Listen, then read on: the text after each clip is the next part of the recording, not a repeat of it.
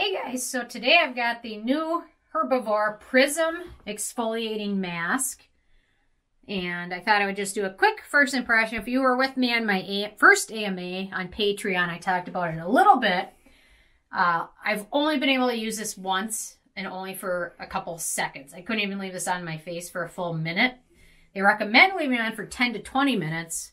If you have normal skin, or if you have sensitive skin, 5 to 10 minutes. I couldn't make it a minute. It's pretty strong. So if you're somebody that already does exfoliants on a regular basis or retinol, this could be a, potentially a little too strong. And I wanted to mention that although it's really pretty looking, especially even in the jar, it looks like potion. And a couple other exfoliants I wanted to mention. Uh, the ordinary one, which is a lot more affordable. This one is a peel and my skin also doesn't tolerate this and the percentages are pretty close. Uh, the Prism is 20, 20% alpha-hydroxy and 5% beta-hydroxy acids, which are very good for exfoliating skin. I did a pH test of it because after I tried it, I thought for sure the pH was going to be ridiculously low. And it wasn't really that low. It was right, right about 3.5, which is decent. I was thinking it would be like right around 3 thinking about how sensitive my skin was to it, and it was right within the range.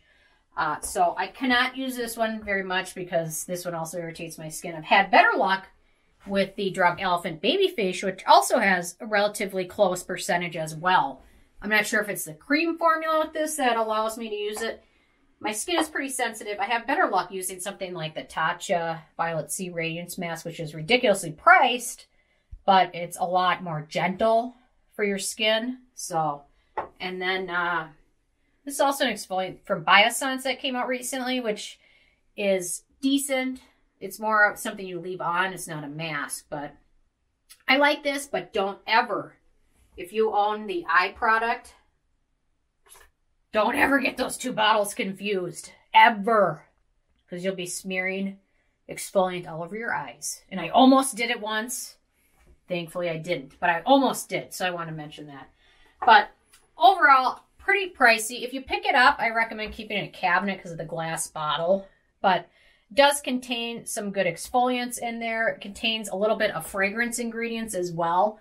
So again, if you have super sensitive skin, it might not be a good idea, but it's something you rinse off so it's not left on for a very long time. So if you have sensitive skin, I would say pass. Maybe pick up a sample but just be very careful because after like less than a minute, I had to rinse it off. My skin was so overwhelmed with it because it's so strong. But if you have normal skin or oily prone skin, or if you haven't had any issues with like the other options, such as the ordinary, if you're able to use that, I'm guessing you'll probably be able to use Prism just fine.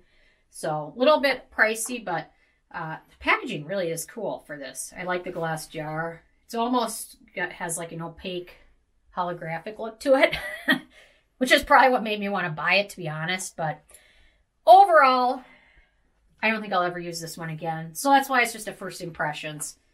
I'm probably going to hand this down to somebody that I know that doesn't have sensitive skin. I'll have to think about that. But anyway, just want to do a quick first impressions of it. I'll be back tomorrow with a more thorough review of something I've been able to use more than five seconds worth. So uh, anyway, had fun with my AMA today, so thank you, Patreons. And uh, I'll definitely have to do another one for all of YouTube as well. So anyway, thank you guys so much, and I will see you tomorrow.